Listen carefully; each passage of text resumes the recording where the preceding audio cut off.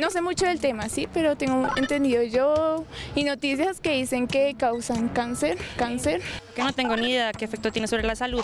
Eh, no, no, no, tiene- no deberían tener ningún efecto en teoría. Esas antenas producen algún efecto radioactivo que ni las aves pueden pasar por el lado de ellas. De Esos botan unos rayos reactivos.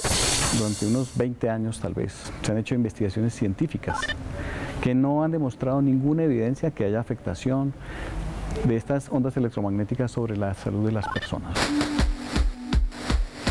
Toda radiación desde de cualquier tipo y obviamente de celulares pues tiene que causar algún efecto en la salud. Pues más que un efecto, yo creo que todos emitimos como unas ondas electromagnéticas.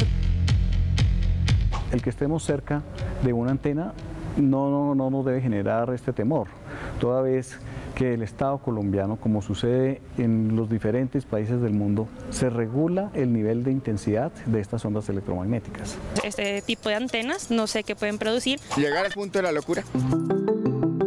La ANI vigila que los niveles de emisión estén por debajo de los límites permitidos. Se controlan las intensidades máximas de, emisión de las antenas para asegurar de que no tengamos ningún temor.